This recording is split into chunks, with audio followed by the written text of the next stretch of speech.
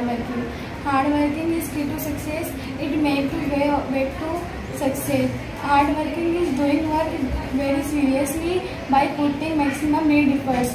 It is it is completing task with honesty, hard working, tough, but it is important to make our life easy. Success is the result of hard working and we, when we fail, we must not stop hard working.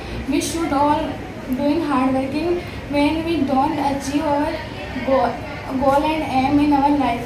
Hard working is hard working is very important because he a hard worker person respected by every everyone. Thank you for listening me.